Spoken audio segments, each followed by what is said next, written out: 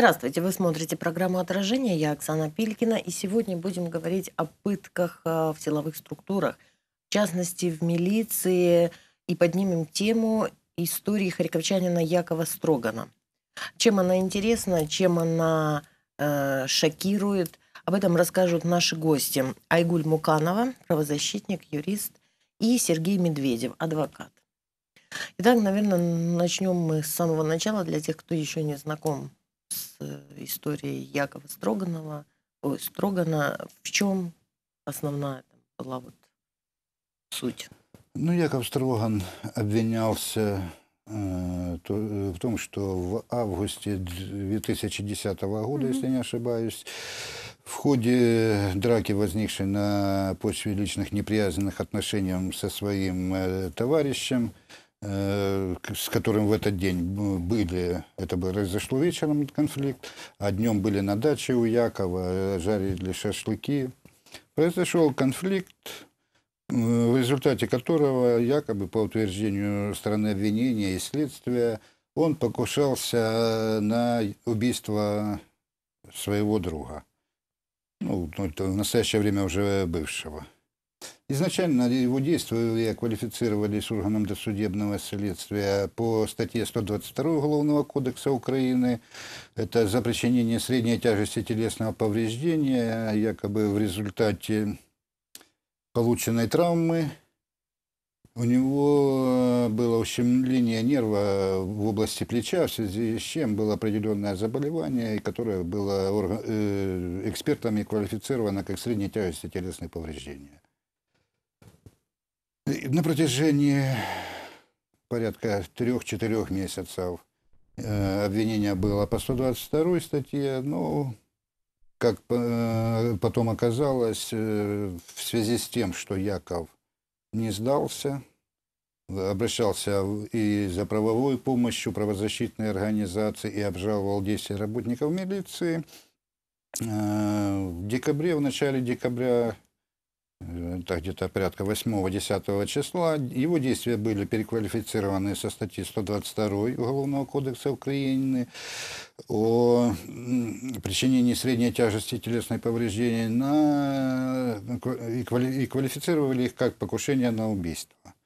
Э, при этом инкриминировалось том, то, что в ходе возникшей драки э, Яков заранее взятым с собой ножом нанес э, четыре ранения.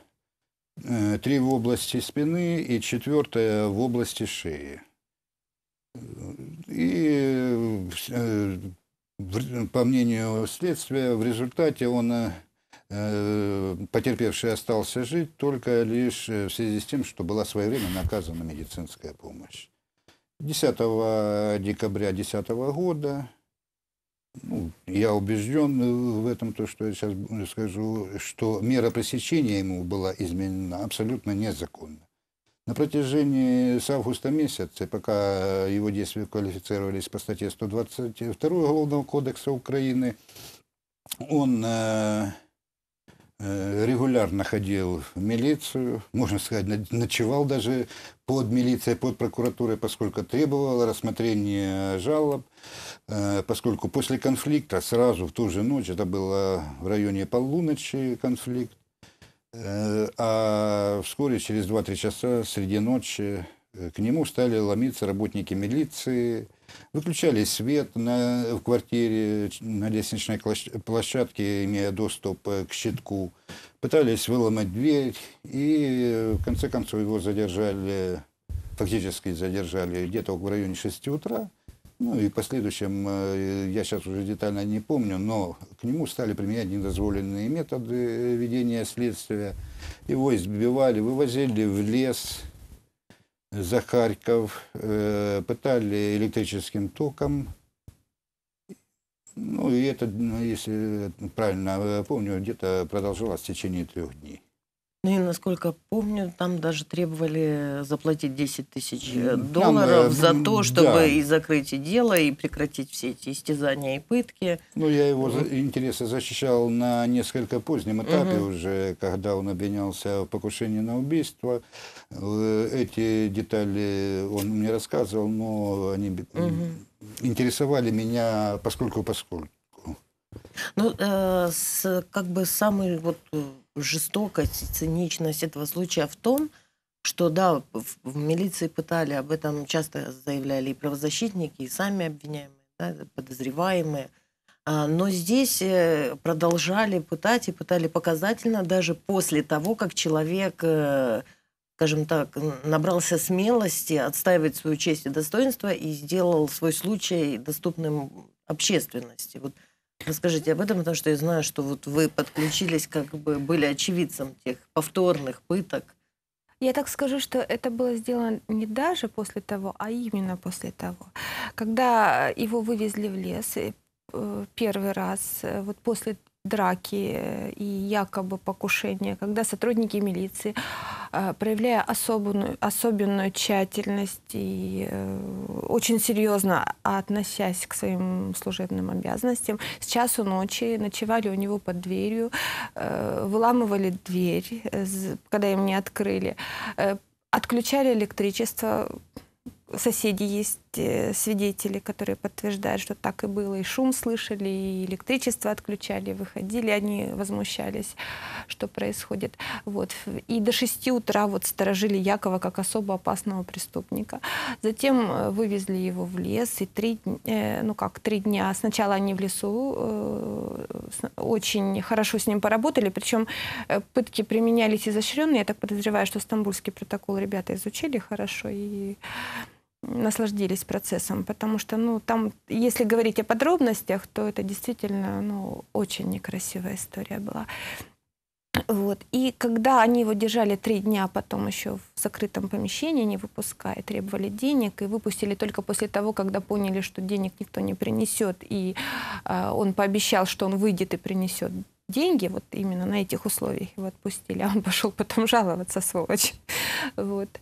Э, вот именно после этого, когда он пошел жаловаться, когда он стал поднимать этот вопрос, когда он пришел к нам, и мы э, тогда провели пресс-конференцию по этому случаю, потому что ну, случай был просто резонансный. Вот. Именно после этого случая его показательно задержали и избили, привезли в, РОВД, э, в Киевский райсуд избитым с гематомой, с э, то, что мы видели, и то, что было записано на видео, это даже не слова, это они подтверждаются.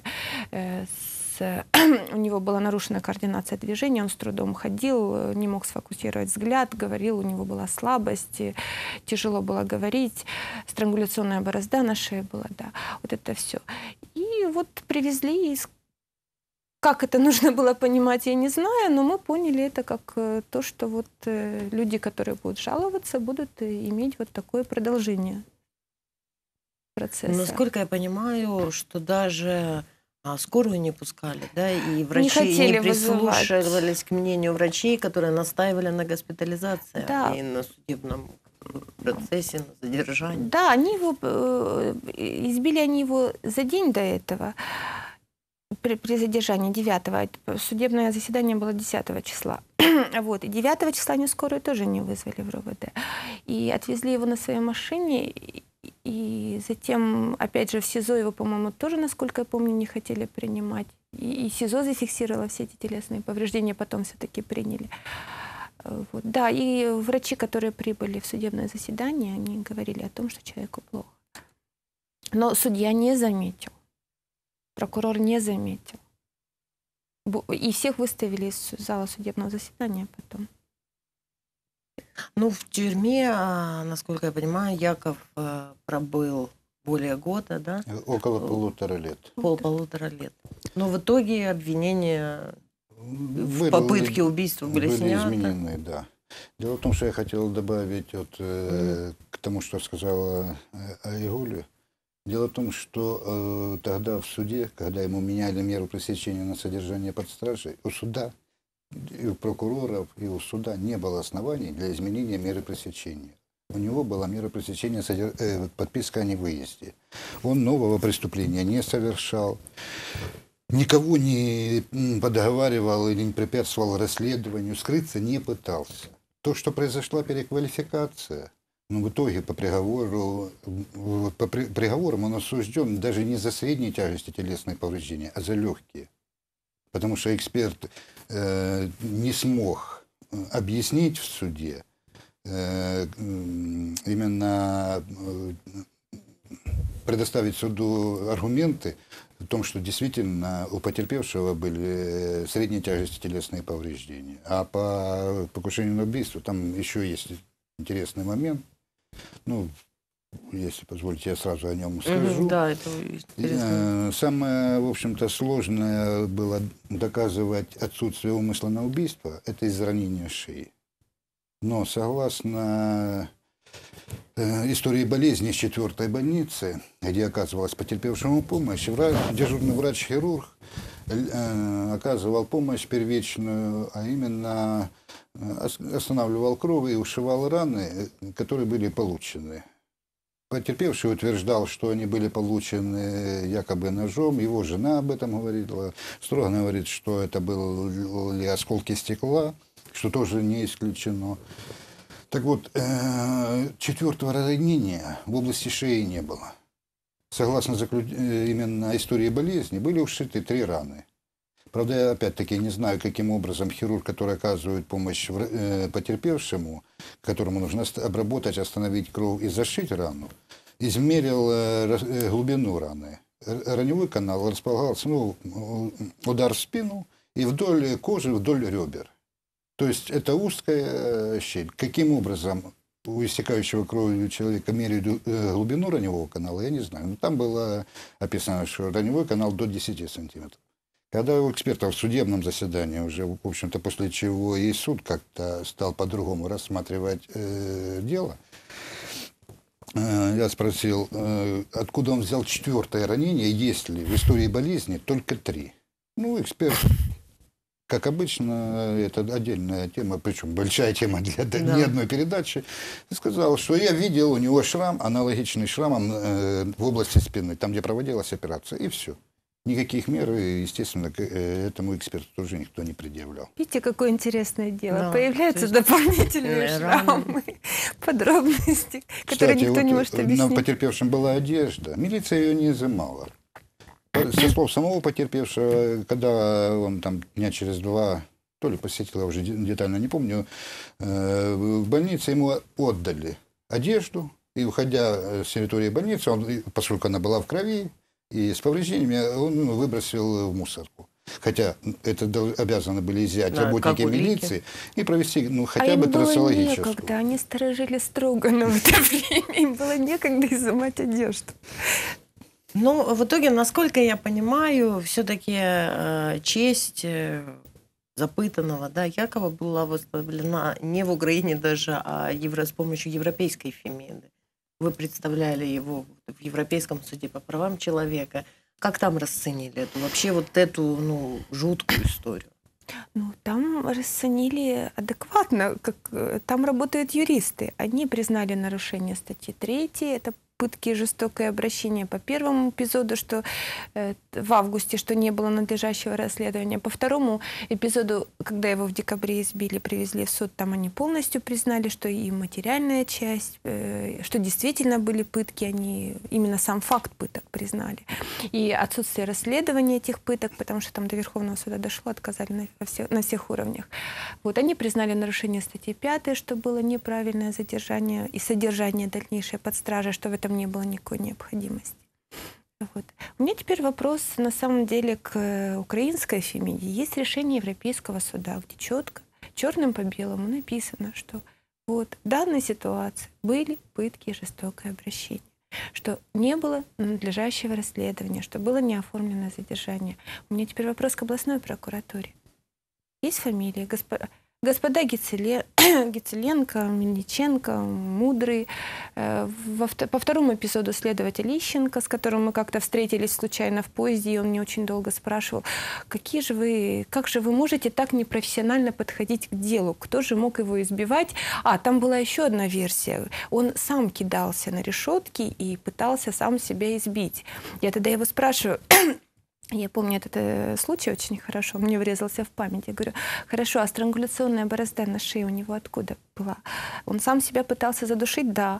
А, пардон, говорю, половые органы синие, я извиняюсь за подробности.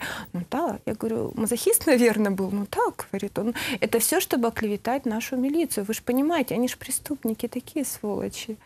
Вот, э, вот. А эти люди, вот э, судья, прокуратура, прокуроры, следователи, милиционеры, да, теперь полицейские, ну, теперь... они до сих пор работают, они не, не понесли никакого должного, заслуженного наказания. Ну вот, насколько я понимаю, что да, что там все в порядке, они переаттестованы, да, продолжают успешно работать. Они, они все переаттестованы, кроме того, ну, своего рода у нас круговая порука. Если дело направляется в суд, по нему, э, получается, обязательно должен быть обвинительный приговор. У меня тоже, допустим, есть вопросы и к той же прокуратуре, следствию всех уровней и всех следственных органов. Дело в том, что э, до нынешнего УПК действовал кодекс 60-го года. Э, была возможность направлять дела на доследование. Э, с новым УПК этих этой возможности нет. Либо оправдательно, есть, либо дело закрыто, приговор. Нет, дело зак... направили в суд. Вот должен, дело должно закончиться приговором. Либо обвинительным, либо оправдательным. Раньше, ну, наверное, порядка 30% э, до 30 или в районе 30 дела уходили на доследование. Из-за э, недоказанности, э, плохого расследования, качества, непрофессионализма. Сейчас доследования, института доследования нет, но нет и оправдательных приговоров. И помнится, мне где-то в 2012 году я как-то в интернете читал э, доклад генерального прокурора о том, что там э, ну, что-то около нескольких десятых процентов оправдательных приговоров имеется в практике, по обобщению практики судебной. И он заявил в открытую на коллегии, которая это в открытом доступе имеется, о том, что это недоработка, надо, чтобы ни одного не было оправдательного приговора. Ну, не может быть любой нормальный человек понимает, что не может каждый раз быть правым и страна обвинения. Ну, вот по Строгану попытались э, доказать и были уверены, что суд поддержит, и суд тоже поддерживал. Его выпустили только через год. По большому Это счету... После борьбы. После борьбы и очевидности всего. И фактически э, государство, по большому-то счету, должно компенсировать э, Строгану Якову э, пересиженные 6 месяцев. Он, э, по приговору у него э, зачалось, и это год лишения свободы. А он просидел полтора. Никто из судей, даже избирая меру пресечения, но такая практика у нас э, судебная, она, естественно, порочная, но никто не вникает, правильно квалифицирует действия. Вот пришло покушение на убийство. А было ли это покушение. Правильно ли поставили статью? У нас э, ни один судья не смотрит. Хотя в соответствии с новым УПК это уже вообще-то функция суда. Судебный надзор за рассмотрением уголовных дел. А... Ну, по Якову уж точно... Опять же, избирая меры пресечения, никто не смотрит, насколько он привязан к месту, где он живет. Есть ли у него семья? Вообще выезжал ли он когда-то из этого города? Какая у него была необходимость? Было ли у него в истории какие-то побеги, попытки скрыться? В данном случае не было ничего. Зачем было сажать брать под стражу человека, который практически ночевал под дверями прокуратуры и ходил за ними хвостом, они прятались от него. Какая вот, была В дополнение к тому, что mm-hmm. сказала Айгуль, э, человек не нарушил условия подписки. Возбуждено уголовное дело. Нового преступления он не совершил. Как оно квалифицировано, это уже дело юристов. Но переквалифицировал только на убийство – почему-то органы досудебного следствия, это следственные работники райотдела Киевского, прокуратура и суд решили, что он вот с этого момента стал опаснее. В связи с чем? И очень часто, кстати, в практике бывает, э, берут, э, задерж, идет задержание, особенно при должностных преступлениях, задерживают там за превышение власти, а потом там взятка, либо э, недозволенные те же методы. Сначала по превышению власти избирают меру пресечения, но не получилось, суд отказал. Они дополнительную квалификацию вводят и опять идут в суд избирать меру пресечения. Она уже есть у человека. Это одно и то же преступление. Ничего нового он не совершил. А действия могут и десятью статьями квалифицироваться. Но станет ли вот э, прецедент Якова Строгана э, неким э, ну, показателем, либо э, каким-то сигналом для украинской фемиды, для украинского вообще законодательства, что все-таки неотвратимость наказания тех, кто совершает преступление, должна быть. Что те, кто пытают. А вы пригласите кто... прокуратуру и спросите у них, это их функции на самом деле. Вот у меня сейчас вопрос. Хорошо, люди, которые пытали, да, это один вопрос наказания. А как, как же относиться к вопросу профессиональной э, квалификации и э, людей, которые этот вопрос рассматривали. Судья, Судья. который вынес э, постановление о заключении под стражу, когда не было никаких оснований. Следователь, который не расследовал это дело. Хотя там были все доказательства подтверждающие. Особ... Во втором эпизоде там доказывать было нечего. Вот видео, вот человека взяли под стражу в состоянии хорошего он был здоров, у него не было никаких даже видимых телесных повреждений. И вот через день он уже приходит вот в таком состоянии. Пожалуйста, есть заключение экспертизы, есть перечень телесных повреждений, зафиксированных в СИЗО. Но следователь не расследует. У меня вопрос, а как этот следователь может дальше работать в прокуратуре? Каким образом подтверждается его квалификация? А судья, которая судья, продолжает да. не обращать внимания вот. на избитого да, который в процессе и... Да, и игнорирует все просьбы что-то сделать. Поэтому, более того, игнорирует просьбы, запрещает работать с этим вопросом. И вот решение Европейского суда, которое имеет силу для наших судов. И э, решение практики Европейского суда является частью нормы права для э, по закону о практике и решениях, о Европейской конвенции и решениях Европейского суда, практике Европейского суда. У меня теперь вопрос. У нас есть решение Европейского суда, где четко указано, что не было, были пытки и не было расследования. Теперь вопрос к прокуратуре. Но они и, же и, должны выполнять Да, и, кор, и к судебной власти. Что вы будете делать с людьми, чей уровень квалификации, точнее отсутствие оной, уже подтверждено в данном решении? А, вот э, вы собираетесь как-то, вот правозащитники, понятно, да, вот э, вопрос в прокуратуре остается открытым, а к правозащитникам, как вы будете добиваться того, чтобы все-таки те люди, которые фигурировали, в частности, в этом деле, и следователи, и судьи, и те, кто задерживал, каждый человек понес заслуженное наказание?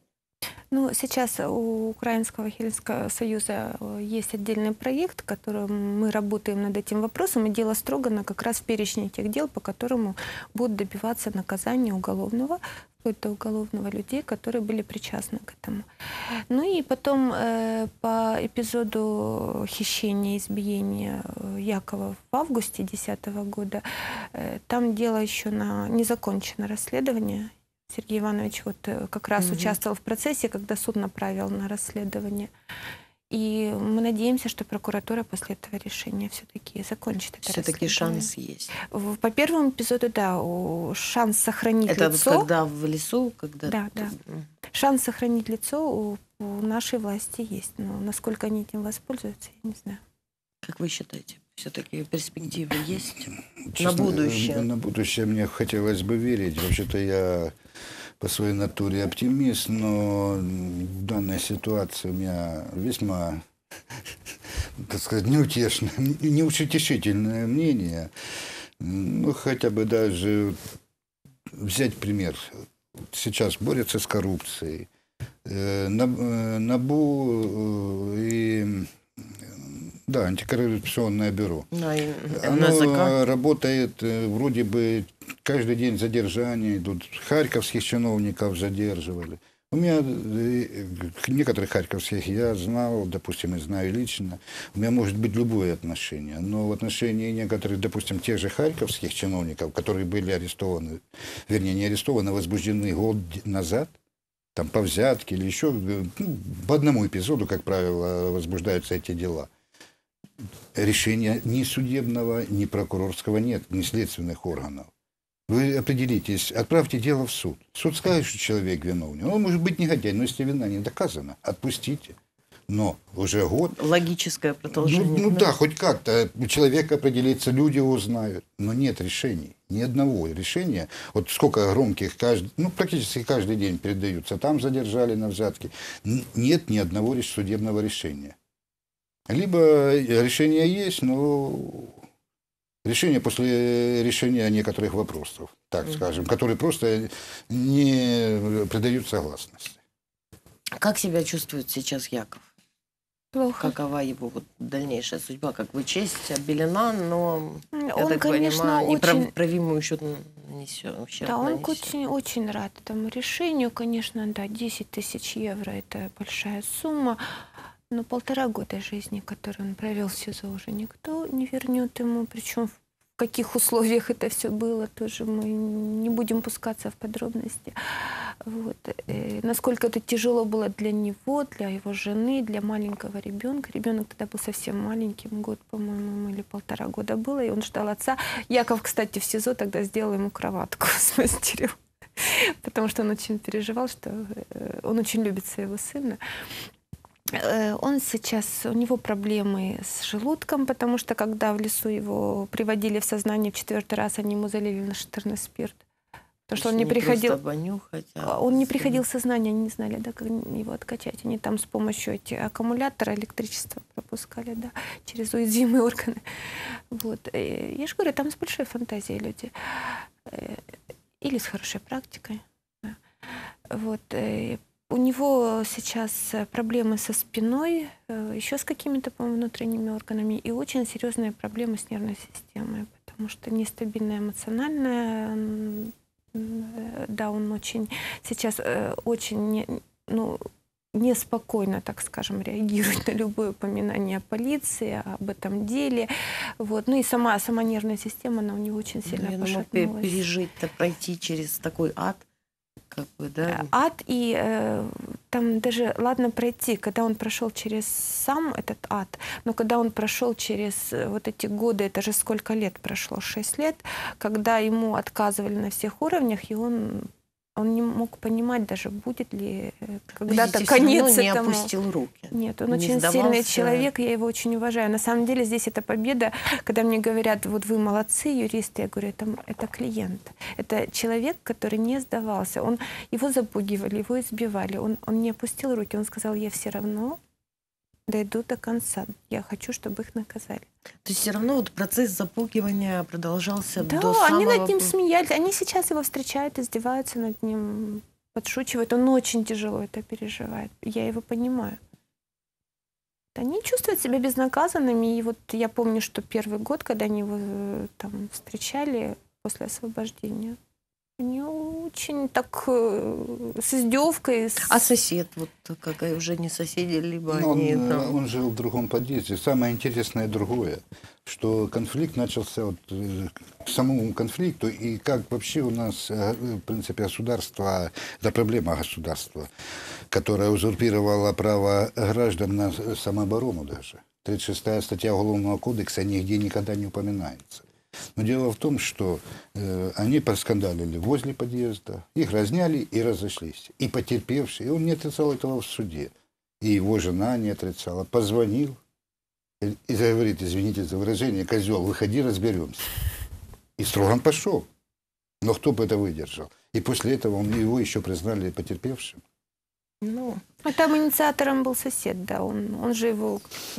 И причем он и упал на стекла, которые с бутылки... Сам, да, конфликт, сам до этого разбил. конфликт возник из-за того, что этот сосед, ну, продолжая там пиво пить или что-то, э, возле мус- э, мусорного отсека э, разбил бил бутылки. Ну, бросал, а они разбивались. ну что ж, я надеюсь, искренне надеюсь, вместе со всеми правозащитниками, с украинцами вообще, со всеми, что все-таки неотвратимость наказания в нашей стране, в украинской Нет, у нас есть вернется. порядочные Ну, и х- сильные люди. Я думаю, что они возьмут каким-то образом в прокуратуре, в суде, что этот процесс будет иметь продолжение. Я напомню нашим зрителям, что у нас сегодня в гостях были Айгуль Муканова, правозащитник, юрист, и Сергей Медведев, адвокат. Я благодарю вас за беседу, вас за внимание. Всего доброго, до встречи.